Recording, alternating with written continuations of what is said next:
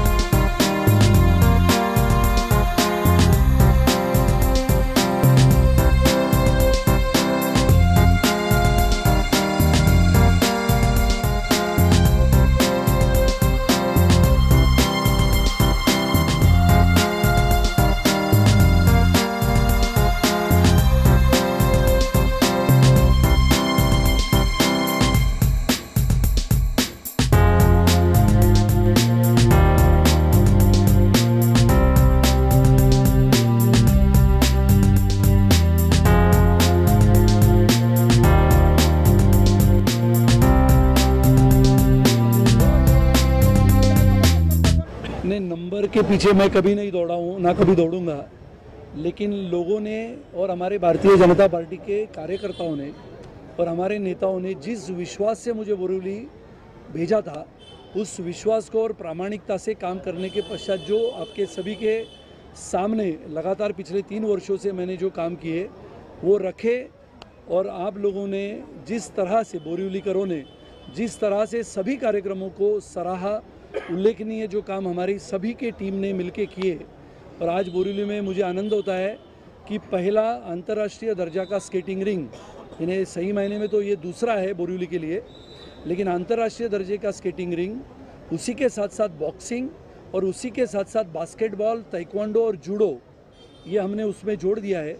बहुत ही आधुनिकता से काम करने वाले और इस देश को आधुनिकता के माध्यम से आधुनिक भारत बनाने वाले आदरणीय प्रधानमंत्री श्री नरेंद्र मोदी जी की कल्पकता को हम वास्तविकता में उतारने का काम हम सभी लोग करते हैं और मुझे लगता है कि आज का ये दृश्य आप सभी ने देखा है और ये दृश्य इसी चिर परिचित बोरीवली के नागरिकों का है जिनके आज की आधुनिक पीढ़ी के बच्चे इस कार्यक्रम में सम्मिलित होकर इस मैदान पे उपस्थित हैं। विधायक जी कुछ स्केटिंग के लिए चार्ज रखा जाएगा? अभी स्केटिंग के लिए फ़िलहाल तो कोई चार्ज नहीं है लेकिन इसको सीखने के लिए अलग अलग स्केटिंग्स होती है। जैसे इनलाइन स्केटिंग्स होती है स्पीड स्केटिंग्स होती है, और इसके लिए अलग अलग ट्रेनर्स रखे जाएँगे। और ट्रेनर्स के माध्यम से उनको शिक्षा दी जाएगी अलग अलग स्केटिंग्स कैसे करते हैं। और विशेष रूप से बोरीवली की एक छोटी बच्ची, जिसका नाम भूमि शिखर है, उसी को प्री ओलंपिक्स के लिए बोरीवली से, जिसकी उम्र आठ साल की है, उसको सिलेक्ट किया गया है। मैं मानता हूँ कि आने वाले समय में बोरीवली ये स्पोर्ट्स का, खिलाड़ियों का एक नगर बनेगा। ऐसा मेरा विश्वास को लेकर दो और प्रकल्प का आपने कहा है राइफलिंग के लिए और हॉर्सिंग के लिए। राइफल क्लब का उद्घाटन सम्माननीय देवेंद्र जी जो हमारे उप मुख्यमंत्री है भारतीय जनता पार्टी के नेता है उनके हाथों से करना है। इसके लिए 26 जनवरी ता, तारीख मैंने तय की है प्रजासत्ताक दिन की। या फिर उसके आगे पीछे दो चार दिनों में राइफल क्लब का उद्घाटन बोरीवली में पहला बहुत ही सुंदर राइफल क्लब। जैसे हम जानते हैं कि राइफल शूटिंग के माध्यम से अपनी नेमबाज अंजलि भागवत पूरे देश से लेकर विदेश तक पहुँची थी। अपने राघवेंद्र सिंह राठौड़, वो भी पहुँचे थे। अलग अलग जिसमें हम कहते हैं कि राइफल शूटिंग के माध्यम से लोग आगे बढ़ते हैं। स्पोर्ट्स का एक नया नज़रिया, नया दरिया हम देखते हैं। और राइफल शूटिंग क्लब और आर्चरी क्लब जो बोरीवली के शिम्पोली में, जहाँ पर हमारी अंजलि कई कीर्तन नगर से भी है, वहाँ पर आने वाले 20 दिनों में शुरू होगा। इसको बनाने में कितना वक्त लगा? अभी ये आपने देखा इसको बनाने में मुझे एक साल लगा। राइफल शूटिंग क्लब बनाने में करीबन छः आठ महीने लगे जिसके बाहर का जो गार्डन है उसको अभी बनाने में और एक दो महीना लगेगा। मैंने महानगर पालिका के आयुक्त सम्माननीय श्री इकबाल सिंह चौहान जी को ये दरखास्त किया अनुरोध किया है कि वर्ली के बाद ऐसा है कि आप सभी ने देखा ओलंपिक्स में घोड़ों का महत्व है। घोड़े सवारी का घोड़े ऑब्स्टेकल्स पार करके जाते हैं उसका इसके लिए घुड़सवारी बोरीवली में हो बच्चों के लिए। इसका मेरा प्रयास है और मेरा विश्वास है कि महानगर पालिका के कायदे कानून में हॉर्स राइडिंग के लिए जगह नहीं थी, लेकिन बोरीवली के मैदानों को देखते हुए एक मैदान बोरीवली में नए रूप से घुड़सवारी के लिए बच्चों के लिए हम बनाने वाले हैं और आप सबको उसका न्योता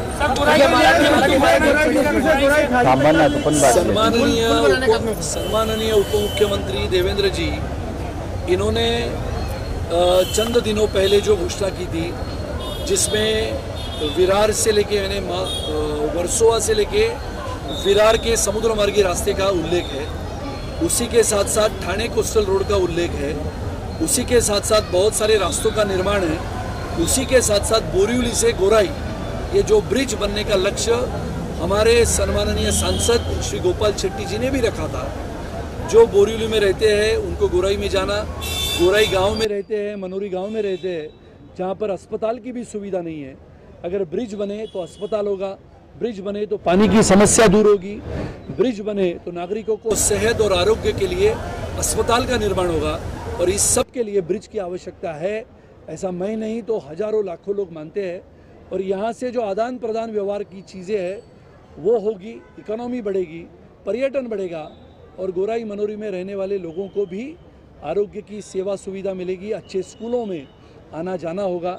आदिवासी इलाका है, बहुत सारे आदिवासी पाड़े हैं। छोटे छोटे बच्चों और बच्चियों का शिक्षा के माध्यम से बहुत सारा लगाव है।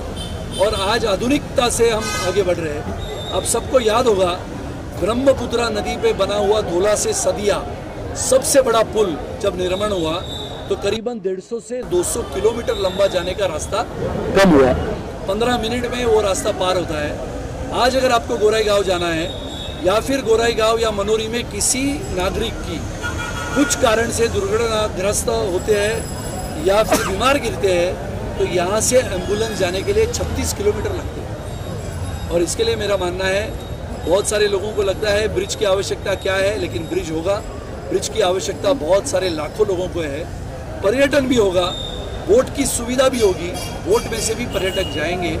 आने वाला समय ये आधुनिकता के माध्यम से एक आधुनिक भारत इस भारत के निर्माण के लिए आदरणीय प्रधानमंत्री श्री नरेंद्र मोदी जी काम करते हैं। उन्हीं के साथ साथ कंधे से कंधा मिलाते हुए हम सब कार्यकर्ता ये आधुनिक भारत की नींव रखने का काम हम सब मिलकर करें और एक आधुनिक भारत का निर्माण करें ऐसी